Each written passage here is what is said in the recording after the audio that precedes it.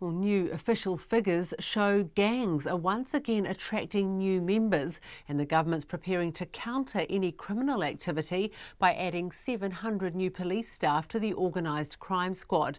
There were 5,785 identified members and prospects in April, an increase of nearly 1,500 on two years ago, with much of the growth coming from the east coast and Hawke's Bay.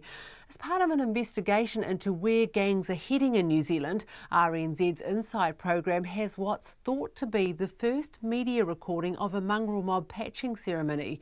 The event was held in Hastings and involved members being welcomed onto a new into a new fatherland chapter.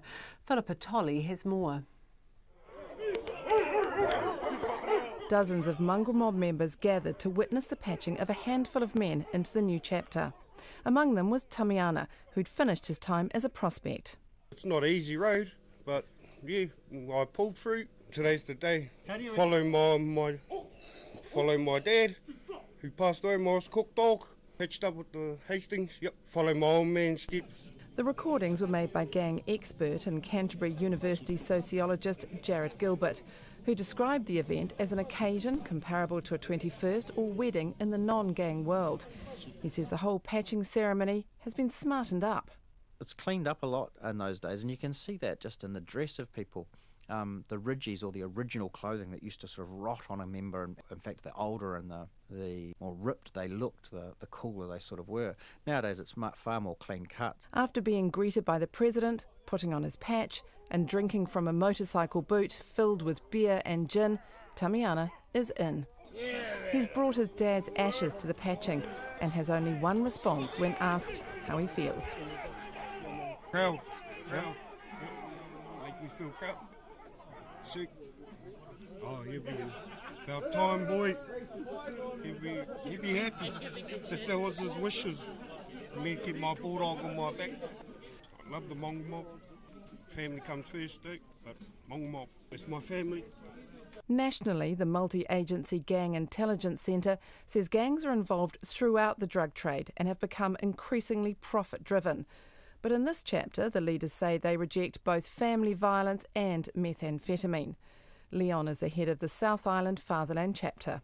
Yeah, we can't be with this shit. Yeah, I can't, especially younger members, older members. Yeah, we got no time for it. We've had enough of a party. Yeah, so let's get on with things and yeah, shit. Doesn't do anything good for you.